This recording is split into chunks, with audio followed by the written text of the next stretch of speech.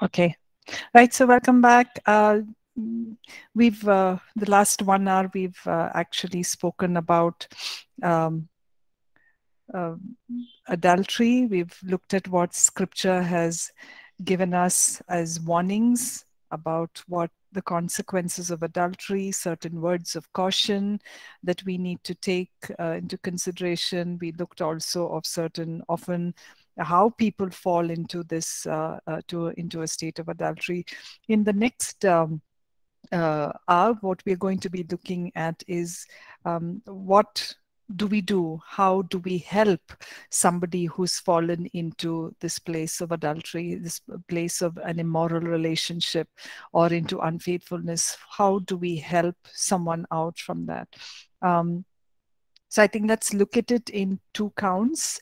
In one, um, is, of course, for us personally, if there have been uh, any of us maybe here or anyone listening who's in a struggle or in this sin, uh, ways of knowing that there is hope and there is a way to come restored and whole out of this. And the second part of, and also for those of us who may be ministering to people who may fall into sin and fall into adultery, uh, a way to help them and uh, give them hope as to how they can move from a, a, place of sin into a place of wholeness.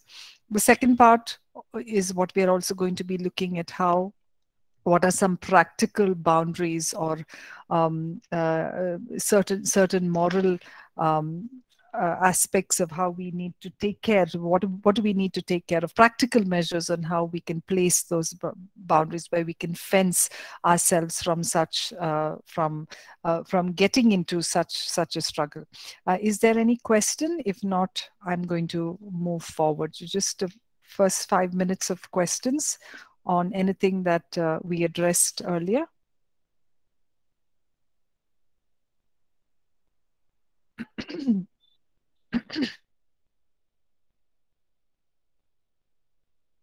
All right. Okay. So um, I, I guess not. So then we'll we'll keep going forward.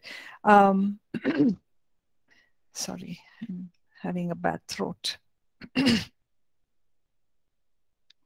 All right. We so the this part of the uh, lesson what we're going to look into is what if people, a husband or a wife has gone into sexual sin, what is something, what is it that we do, and uh, how do we help them to work through this? And often people who are engaged in this kind of an emotional relationship or an immoral relationship find it extremely hard to step out to to find hope through this. It's almost like they're in a deep pit and there isn't a, a way outside.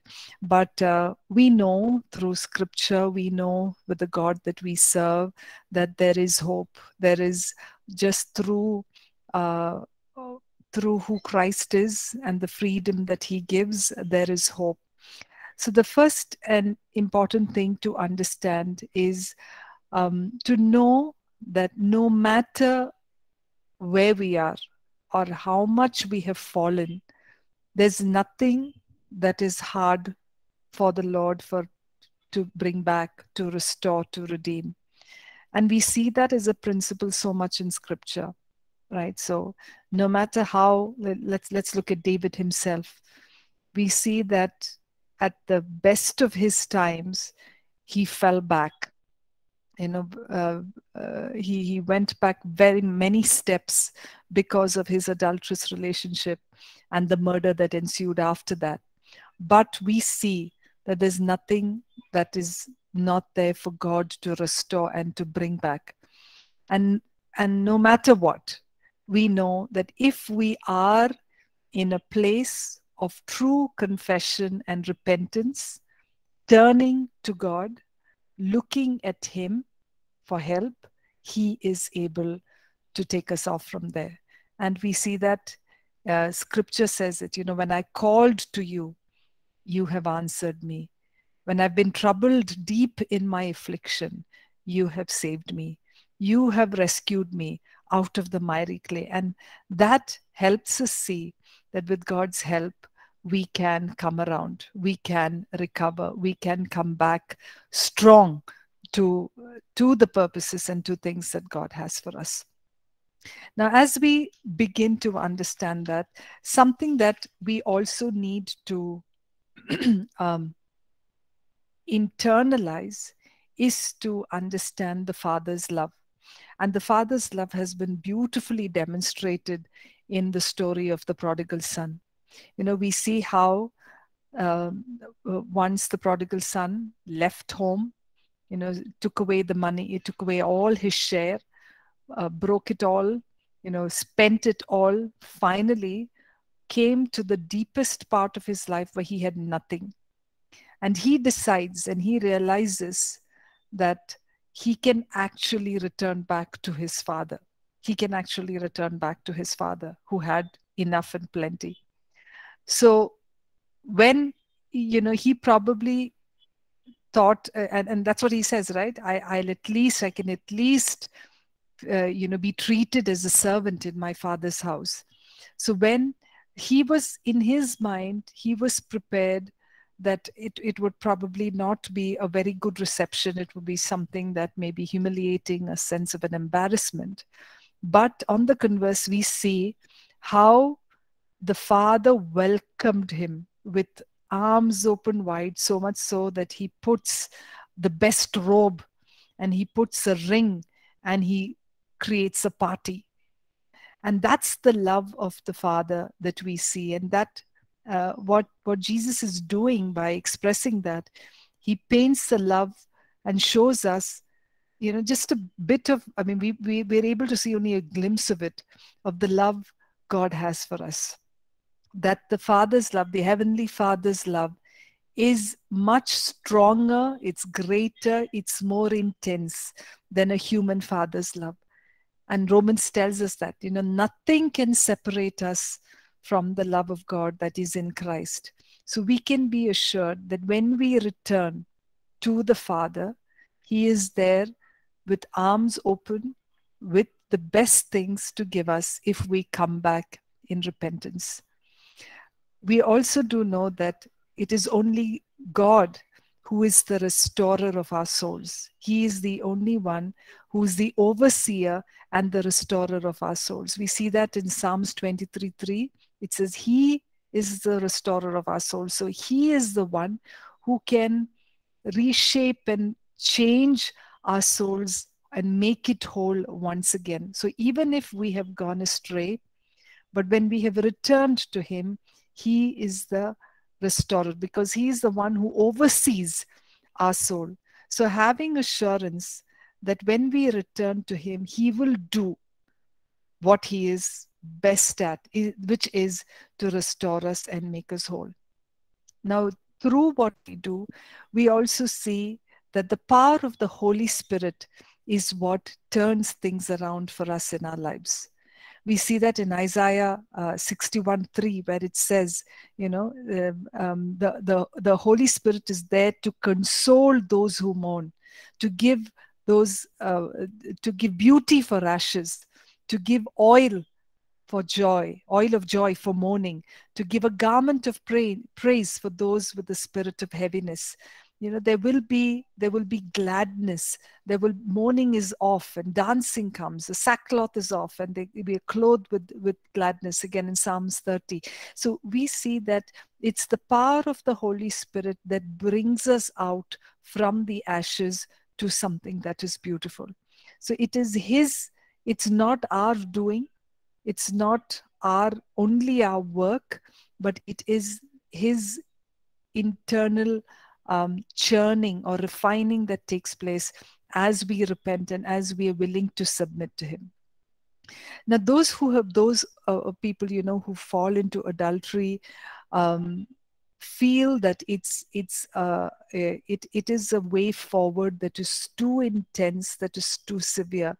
And uh, you know when you hear people who've fallen into adultery speaking their desire to be able to come out of it. I mean i've heard people saying you know i wish i could wake up in the morning and pretend as if none of this had happened right? The pain that they go through not just in the rejection in the in the problems and the consequences of the uh, as a result of their adulterous relationship but also of the fact that they feel so trapped like like being in a prison to be able to get away from the emotions and from the um, from the attachments that they've been feeling to the to uh, the third person right? But scripture shows us that you know when we keep our eyes on the lord he's the one who picks us out from a trap uh, psalm 25 15 he's the one who picks us up from the trap uh, from a trap. So he's the one who takes us away from captivity so that we can walk in freedom. Now although it appears as a long long journey or a, or a long place into recovery every step matters. It is the initial steps that matter to uh, you know towards towards your destiny. So when you're encouraging people to make that step into freedom the, one of the things that you would help them to see is to know that even though it looks long even though it's look difficult taking one step at a time towards choosing your freedom. Now as you begin this journey there are certain things that is important for the person who has offended, the offended person needs to do. One, the first thing is to recognize that sin is sin. The journey begins when you call sin sin. You have to come to a place of not justifying the action or excusing the sin saying that it is it's only because you know my my spouse didn't do this or didn't do that or it's only because of uh, or it isn't i mean it, it is not sin. It's it's just uh, a good friend. My colleague is a good friend. Uh, the fact is you need to call a spade a spade. You need to know that often satan puts you through a deceptive uh, loop that makes you justify that your actions aren't wrong. And these are deceptions these are lies that that come about uh, Sri Kumar, I'll just take your question. I'm just, I'll just complete this bit and sure. I'll take your Thank question. you. Thank you, Pastor. Thank you. Yeah. So, um, uh, so the first thing that that we need to do, and it, if it is a personal journey, to identify that any uh, intimacy outside of the marriage is to be called sin and we call it out as sin. For those who we may be ministering to, you may find a lot of people hiding behind these lies. And it's something that you may need to call out as a minister, as a pastor, and say, sometimes it, it may be being a little bit more hard and saying, uh, you know, you seem to be covering up on some things, or there are certain excuses that that that uh, that uh, you, you're falling in. We we need to bring out that sin is sin and any sin that that uh, it says all unrighteousness is sin and this is unrighteous. Anything that keeps away from god's word is sin and we are answerable to god. So the first point where the journey begins is is being able to call uh, call out the sin to recognize that it is sin and uh, bring about an agreement yes i am in a sinful place. Okay? Yes Sri Kumar we can take your question now yeah, thank you, Pastor. Yeah. Pastor, um, as you are, uh, sorry, am I audible? Yes, yes, you are. Thank you. Thank you, Pastor. Pastor, my question is, um, as we were discussing on the, like how the God has restored that relationship of David, even though um, when he fallen uh, into that sin and uh, not only in adultery, but also in murder. But I just want to know in this present circumstances, there are a few cases which I know, and uh, sometimes I I was confused. I used to be confused that how to, like uh, you know, uh, how to hand like uh, not personally handle, but um, I used to think that uh, how this can be like uh, you know, corrected, where you know um, when some relationships goes. Um, uh, very deep and uh, when the woman get pregnant and when she conceive and in such cases uh, and uh, this person is already having a having a uh, like a having a married life Family. and um, so in that cases if uh, if one of this person wants to come out from this relationship um, then uh, now she's conceived. Now you cannot say that you can abort a child also. And um, you know and uh, how can uh, we guide them um, because of this uh, you know the entire scenario is now is in a in a very uh, very perplexed stage so how can we handle this case thank you pastor thanks a lot Yeah, yeah, absolutely. I think Sri Kumar, what you brought out is is a, a reality. This becomes extremely messy when um, when there is pregnancy involved, when there is conception, when there is a birth of a child in the. It becomes extremely messy. Um, uh, yes, we need to use a lot of wisdom as we deal with concerns like this. The first and foremost thing we look at is one, um, the, um, the, the person. Uh, let's. I, I'm okay. I'm, I'm just going to say maybe this is the man who is, uh, you know, who's been adulterous in this relationship. Just for as an example, for us to make it easier. So the man, of course, needs to come to a place of repentance to be able to cut off the relationship and bring about restoration within his own family now that in itself is a process because with uh, you know when it has moved into uh, a, a, a pregnancy coming as a result of it it can get a lot more deeper and and difficult um, but the first thing we need to check to see is to ensure that the man comes to a place of uh, repentance and building on uh, himself as well as that relationship. Uh, the, this because it scripture is very clear that the covenant relationship is the foremost important one.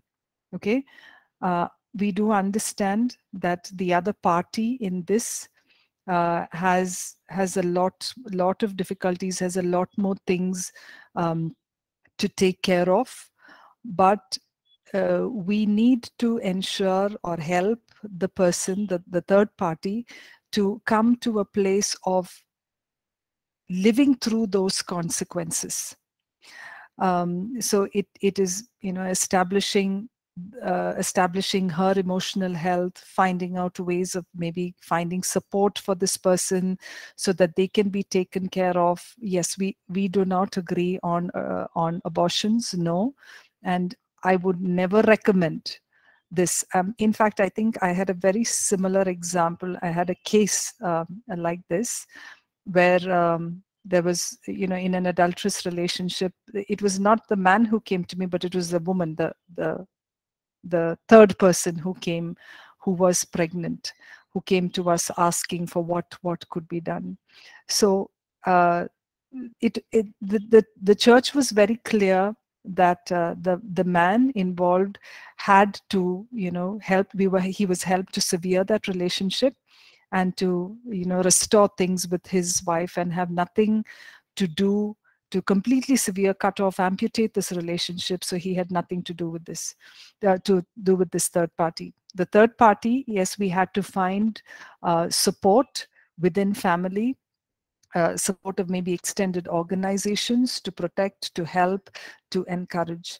Um, you know, she came in in her third month of pregnancy, asking for a decision of what she needed to do, and uh, you know, we she was counseled, she was she was helped, she was shown scripture, but on her own, she decided to abort her child right I think within uh, within I think a month after after all you know there were there were these multiple sittings and working through she decided to abort abort the child and uh, then you know did not come back for help at all.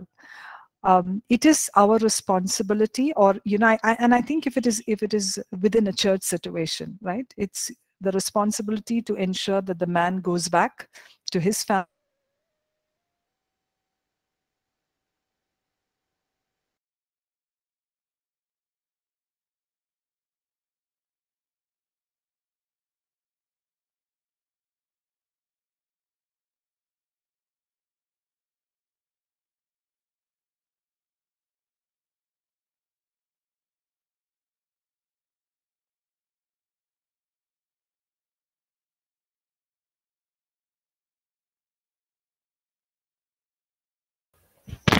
I the one frozen or the past went off?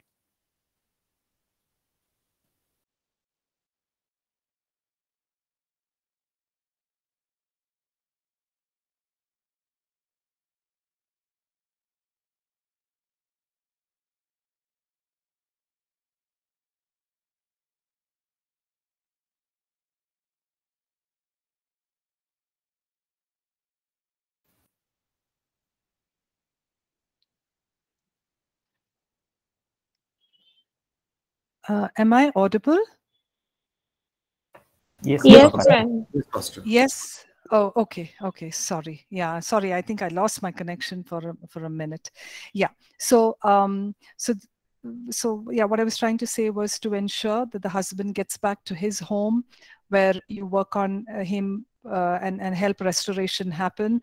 And for the woman in question, the third party in question, um, to get her to for help and support and whatever things she she may need by finding out resources of it. So this is something that that I think as principle uh, is what we would definitely follow to to that that that cutting off really does need to happen even if it may may mean that there are certain consequences that have come as a result like like maybe a child out of that relationship the cutting off is important in order to maintain first family yes harrison Thank you, Pastor. Thanks a lot. yes yes harrison Thank you.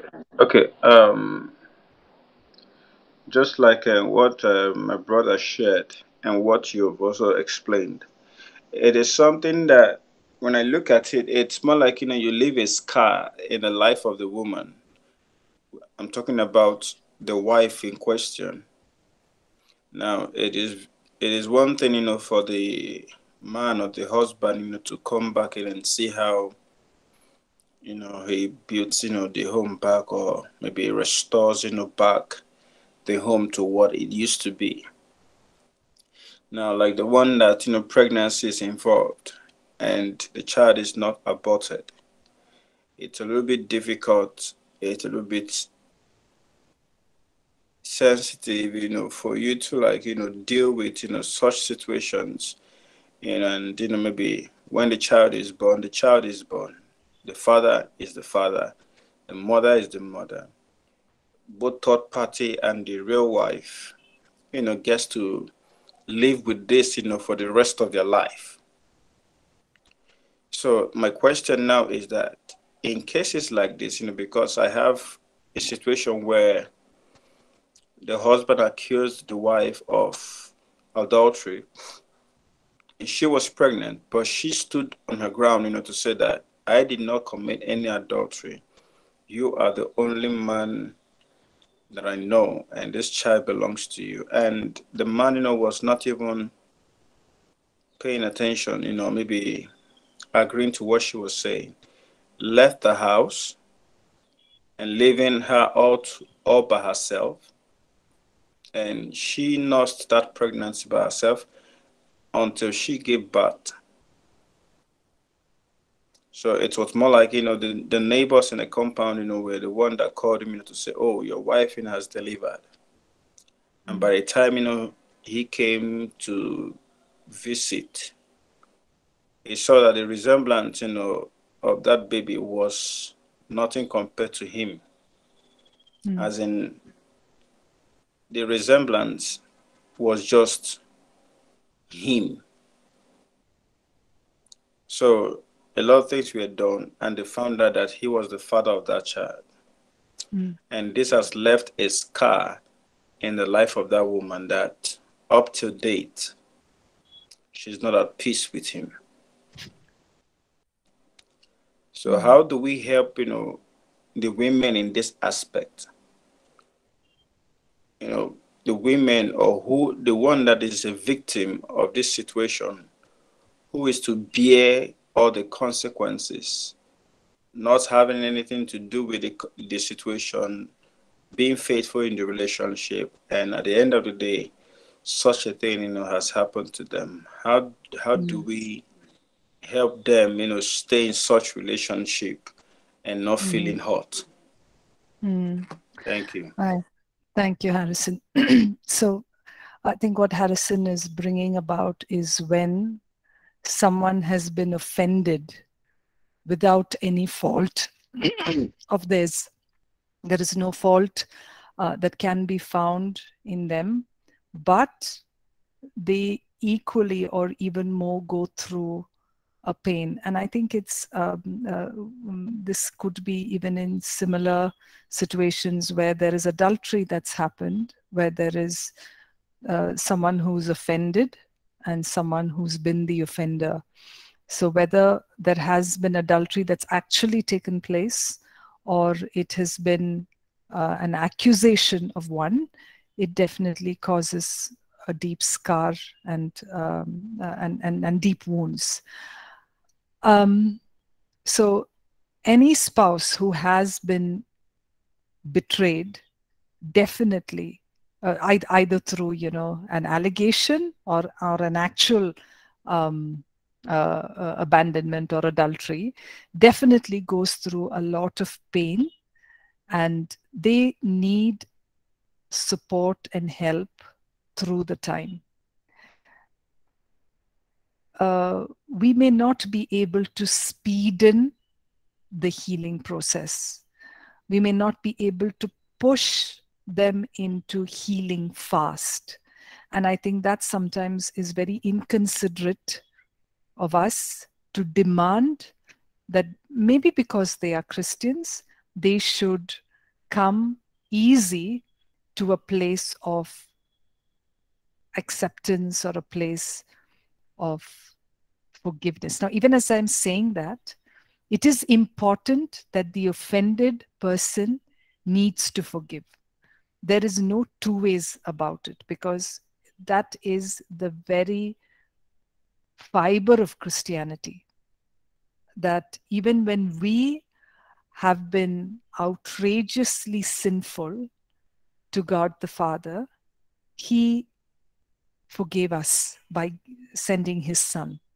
Now, that's the example we see. So, no matter how big the sin is, how big the hurt is, the offended person should come to a place of forgiveness, right? But it may take time, it may be a journey, it may be a season, it's something that they need to progress into. So, we are looking finally at the offended being able to release forgiveness by taking maybe the time they need to work through the emotional struggles and the emotional knots that have taken place. It's definitely not easy. Uh, and I, and I see we've seen people walking through this journey. Some make it well, some often even choose to just end that relationship uh, which we know in in the case of an adultery it is permitted that you know if the if they are in an adulterous relationship there is they are permitted to for divorce. And that's that's one of the uh, places where a divorce is permitted. However whatever they choose to do the offended person needs to release that forgiveness, even though whatever has happened, even though there's been suspicion, even though there's been abuse, there's been emotional uh, hurt, there's been abandonment, there's been shame, there's been humiliation, helping them to work towards having that heart of love and without that offense. Because as a believer, we are all called to love as God loves. And yes, this offended person does need this grace to live this out. To a place where they can actually uh, come to a place of healing and wholeness by discussion with with a counselor. The other thing that I would say is now in the case that Harrison you brought up, um, a restoration and a reconciliation between the this this party the offended and the offender that is important where the offender comes to a place of knowing that he's been come he's been uh, uh, he has wronged his wife coming to a place of repentance to her, asking her for forgiveness for the things he's put her through, coming to a place of sharing, uh, maybe uh, uh, of, you know it, it requires a lot of humility to come to a place to say hey i was wrong and that too in something as grievous as this right? It it comes to a place of humility. But healing like like like you know like we were we were talking about healing or hope is always there knowing that when we can bring about these hurts to god and ask him to restore these wounds and hurts. It's a journey. I and even as i'm saying it it looks maybe like a 5 minute thing but it's a journey that can often take months and years where both this husband and this wife needs to work together to be able to come to establishing trust once again, to be able to establish that intimacy and closeness once again. And that can happen only through um, open communication, uh, you know, open repentance, confession, building of faith, going through those emotional, overwhelmed moments, um, living that together, working that together. So yes, it's a journey. It it is hard. It is difficult, uh, but nonetheless, I, with the power of the Holy Spirit, nothing is impossible. Yes, Harrison. I think you had a follow up question. Yeah, thank you. Um, I feel like sharing some few things about my life experience.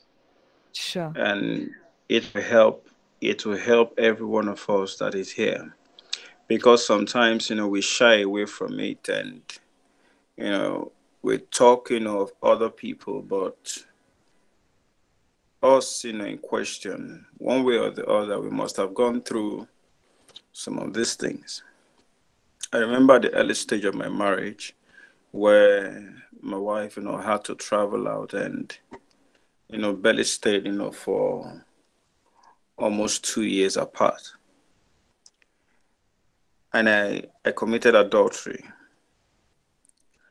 And my my faith, you know, and my work with God was questioned.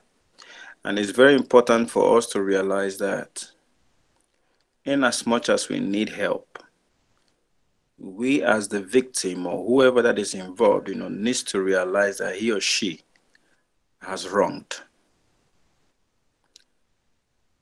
It is very important for us to understand that we have a very big role to play in the healing. And I'm talking about, you know, whoever that must have committed the adultery. Because in as much as you go to the pastor and the pastor will quote all the Bible passages, tell you everything that he needs to tell you, when the mind is not made up when the mind of that person is not made up, you know, to to ask for forgiveness or to come up, you know, to say that yes, I have done something that is wrong, healing will not take place.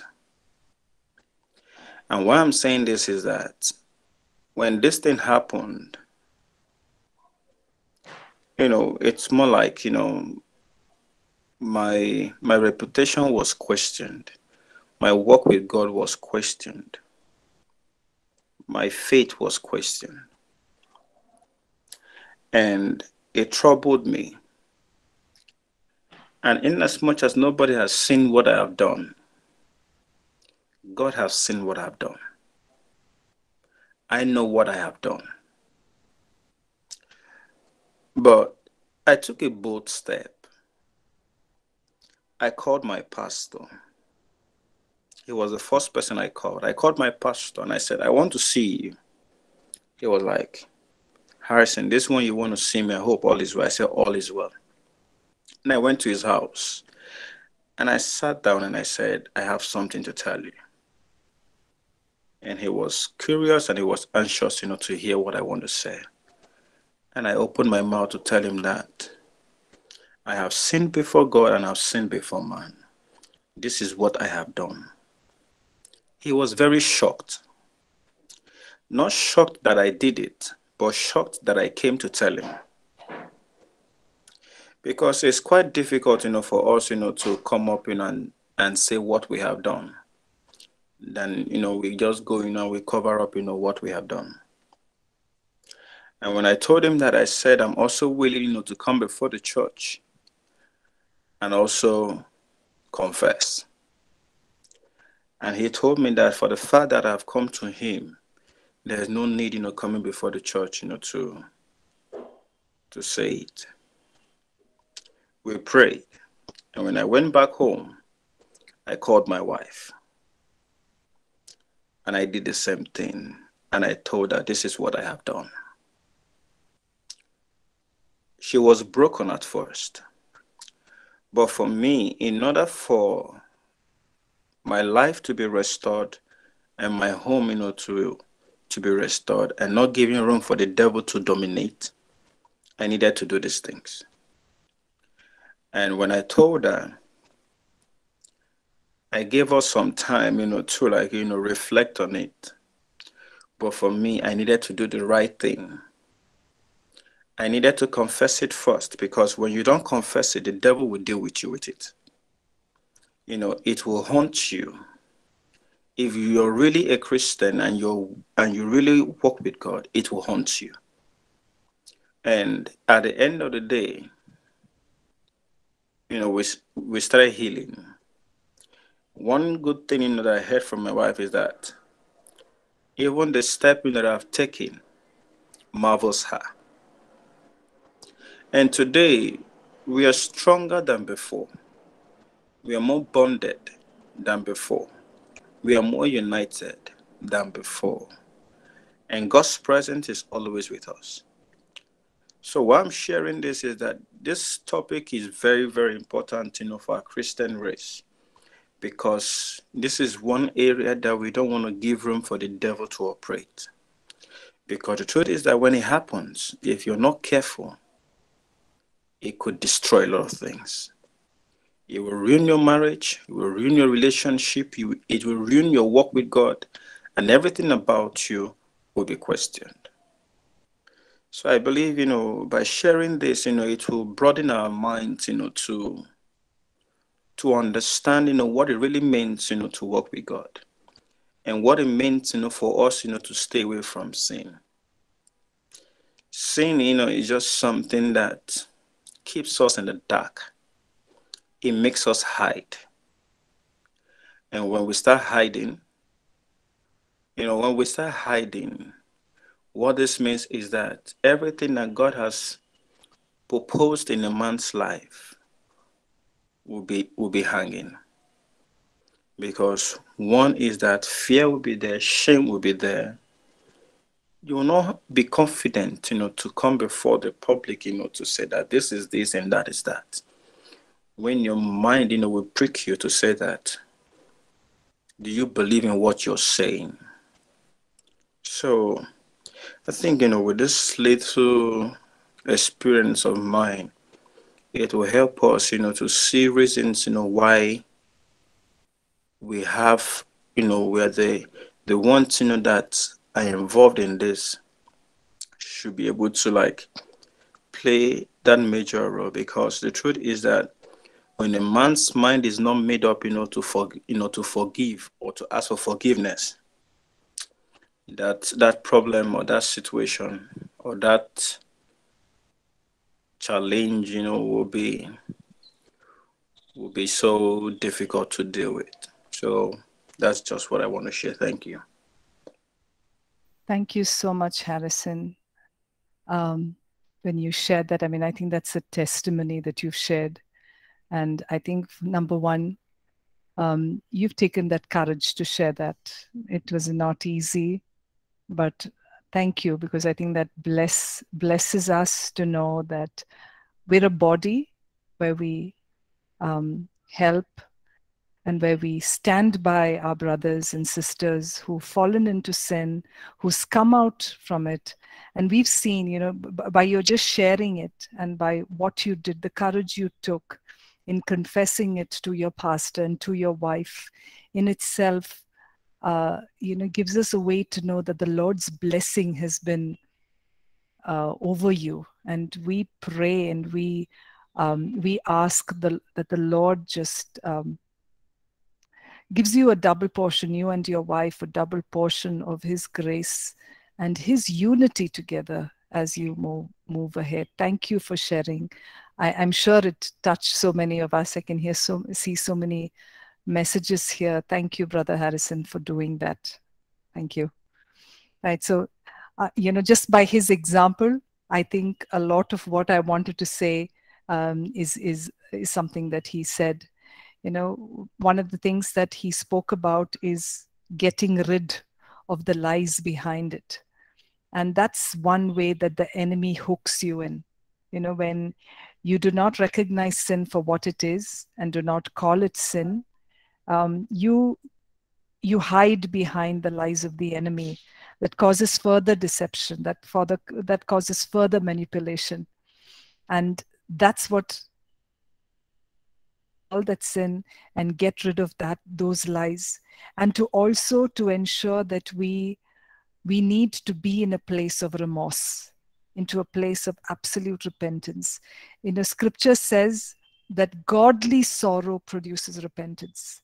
So if we know that restoration is on its way when there is godly sorrow and there is a repentance and that's exactly what uh, uh, you know harrison was was sharing that that coming to a place of recognizing that you have been you have wronged not not just man but you have wronged god and to come to a place of that godly sorrow uh, an important practical thing, you know, especially for those who may continue to be in, in that relationship. Yes, coming to a place of coming in right in, in the in the right place with God is something you need to do alongside what we call an amputation. The only way that you deal with sin, you know, as it talks about in Matthew it says, if your eye has caused you to sin, gouge it out. If your hand has caused you to sin, cut it off. So it says you need to cut off and deal with that sin. And that could be in any form. And that could even further have consequences. You know, there are times that people who are in extramarital affairs, um, you know, in their workplaces, some way of severing may be to change the job or to move away from that situation or, or, you know resign that place. Yes there are going to be financial consequences. There are going to be you know reputation issues absolutely. But if if that is followed if this cutting off happens like harrison so rightly said the enemy doesn't have a foothold. When when one continues to be in a place of sin continues to dabble with it you know play a little with it you know just a, just a call just a message just a peek just a hello. That itself brings brings you back into that depth of sin. So it does require recognition that you know you need to make the choice. The person who has offended is someone who needs to make the choice of getting this back right. So breaking free from uh, an affair or a relationship or an entanglement definitely requires that that cutting off that severing off. And it has to be done severely you know it it cannot be done gradually. It's not something that you know you can do over the next few months. It it is painful. It's something that has to be done like like then and, and and now you know. And being able to reverse those those choices that like I said, you know, it was interactions, if it has been communications, if it has been the, the job, or if it has been a place of work, or you know, wherever it is, to be able to reverse those choices, change those choices, because Satan definitely once he has a hold you know like i said in ephesians 4 27 it says don't give the devil a foothold.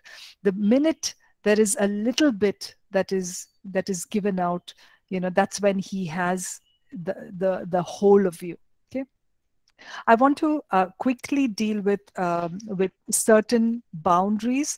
We did talk about reconciliation, you know, as uh, as Harrison put forth that question. We were speaking of how reconciliation and healing is important.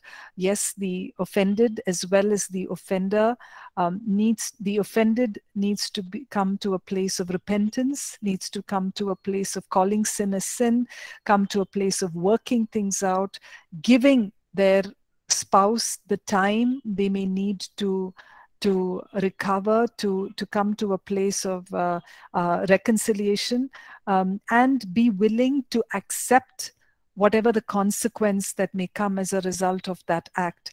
Whereas the offended, um, they need to be in a place where uh, uh, you know they have the grace to to forgive, to come to a place of releasing that forgiveness and working on that. So these these steps aren't easy. Sometimes they are uh, a lot more painful just working together and discussing this. I mean, I've seen how often things take a lot of time, but ensuring that, you know, if both the offender and the offended are in places, are in right, right standing with God, we can see that it turns out beautiful. Like Harrison said, it turns out beautiful. The crisis tends to make you much stronger, much more faithful to each other. You walk one one in uh, one in one hand together, and God reflects that healing and reconciliation.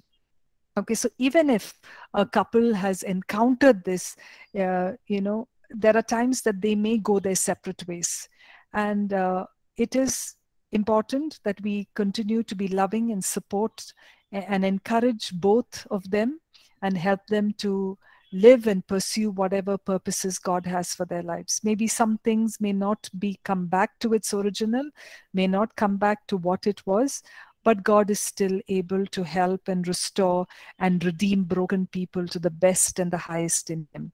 Okay, uh, I just want to spend the next five quick minutes um, just to just to go through certain moral boundaries that that uh, you know uh, a couple. How do you safeguard your marriage?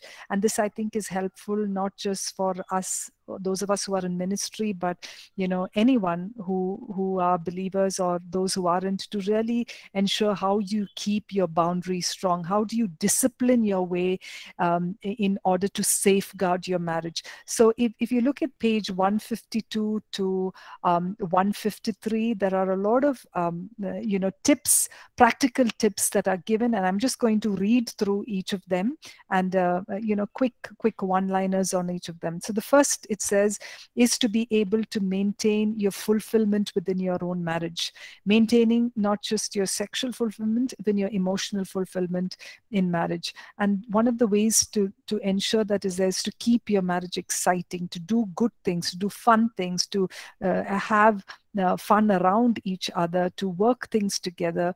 And if at any point of time you see this as a concern, you know, take it as a measure on what you need to work at. If you aren't satisfied or fulfilled in this area of your marriage, do something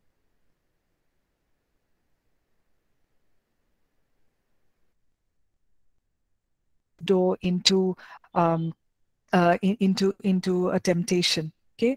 Uh, the next thing is don't do something you would not like your spouse to be doing right? If it is maybe you know texting uh, uh, an old friend um, maybe in the middle of the night and if you wouldn't want your husband to be doing or your wife to be doing that don't do it yourself you know uh, ensure that you keep the same standards that you're keeping for your for your spouse as well.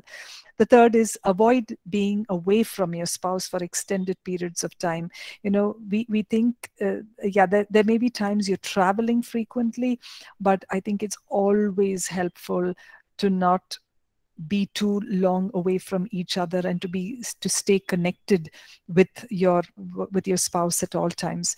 Um, if you are working to ensure that you do not pair up with uh, with with a colleague of an opposite sex for for for trips or for solo um, uh, business trips you know avoid it uh, or uh, you know say that it, it is beyond it's not in your principles you know keeping some of these boundaries will be absolutely useful and helpful for you in the long run. It may sound kinky to many people but when you do it uh, you know it it not only establishes an example to others but it keeps you it refrains from you getting into any form of a temptation. Okay? Refrain from going out alone taking drives with those of the opposite sex other than your spouse you know drops um, short drops to the bus stop or taking someone from the office to the work home uh, from, uh, from home all of that the best it, it can be avoided. Be careful about your chatting your use of social media um, what are the messages that you send?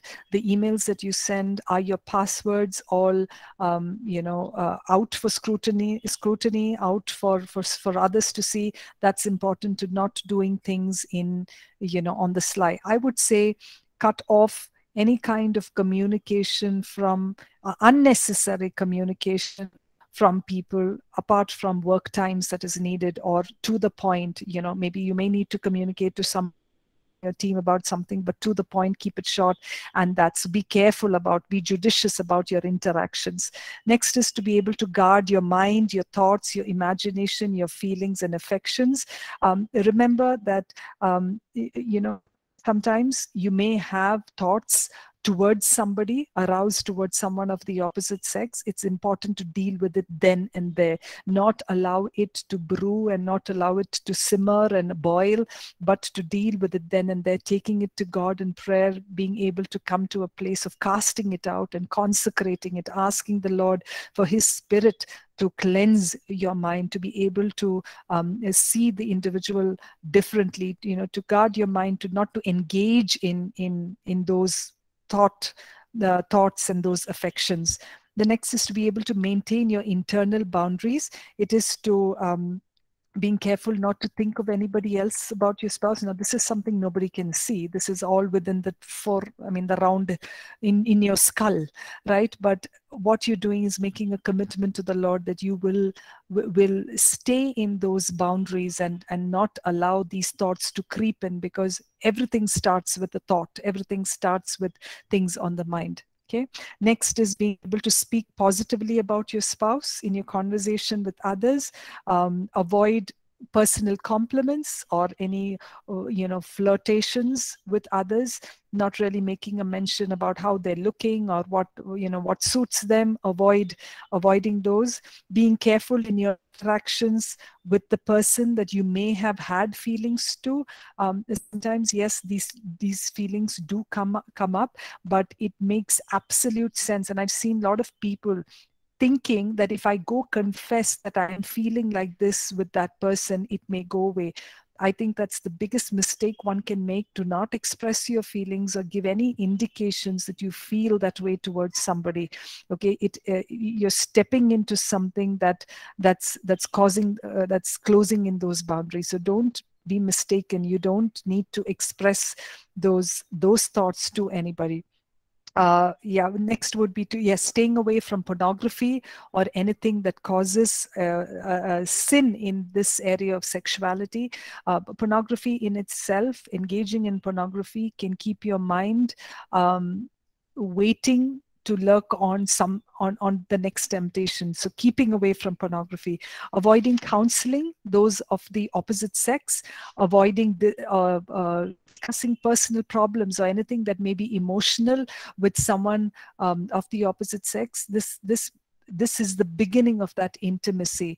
Choose to discuss it with your spouse if if if that isn't possible.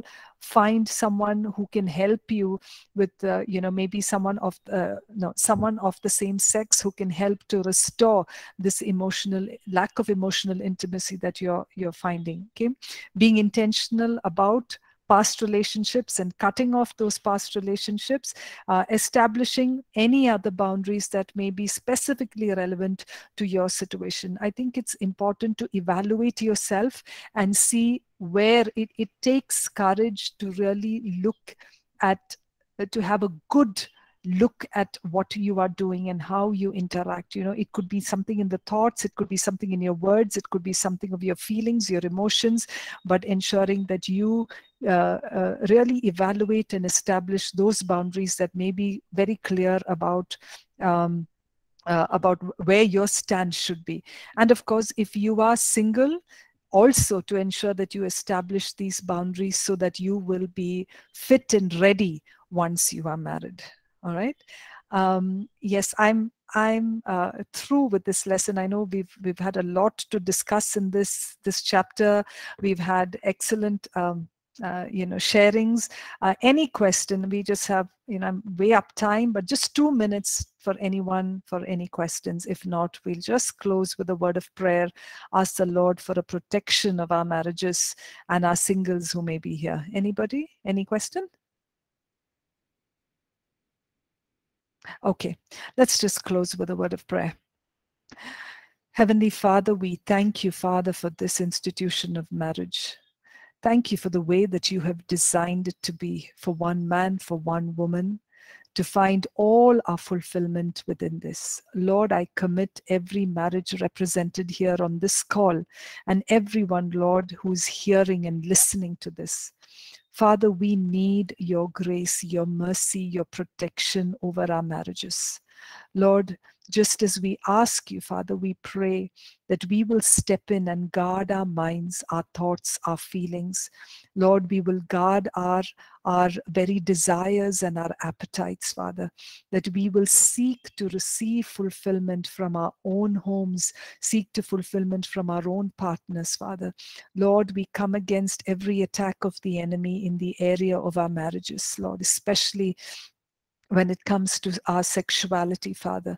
We pray that you protect us, Lord, even as we establish these boundaries. Give us the courage to call sin a sin. Give us the courage to cut off everything, Lord, that is against your word, that is unrighteous in your sight, Father. Give us, Lord, the courage, Lord, to, uh, to be willing, Lord, to step into your grace, Father. Lord, we pray, God, for those of us who have fallen off the mark, Lord, we repent repent, Lord. We come with you, Lord, with sorrow and repentance and ask, God, that you, um, you revive us and you restore us, Lord. If it takes any of us the courage to go back to our spouses and share with them, no matter what the consequences may be, Father, may we, Lord, start that process, that journey of healing, Lord. Lord, you have convicted us, Lord, of our sin. And when we come to you, Lord, in our sin, when we come to you, Lord, there is surely a blessing. Father, I pray, Lord, for for those who've been offended in this call, Father, those who've been offended, Lord. Lord, your grace, your mercy, your love be poured out, Father, so that the scars and the wounds that they feel, Lord, will be healed in Jesus' name, that they will begin to see hope, that there is a living hope in you, Father, that only you, God, can restore and reconcile us, Lord, back to our original places, Father. Lord, I pray for the singles on this call, even as they've heard, Father, I pray that they would establish in their hearts that they would follow you with all their mind, their soul, and their spirits, Lord, so that they could be strong examples, strong witnesses to show forth your glory. Thank you, Lord, that you make these difficult topics, Father, um, something that that that brings about a teaching for us. Yet, Lord, that we need to protect ourselves through this. Thank you, Heavenly Father. We love you. We praise you. I, I bring each one of us hearing this prayer, Lord. I pray that your miracle working power, Lord, goes with them through this week. May they see your miracles in every area of their lives. In Jesus' Jesus' name I pray. Amen. Amen. God bless. Thank you. Bless Thank you, Pastor. so much. God bless. Thank you. Thank you so much, ma'am. Thank you. Thank you, Agni. God bless.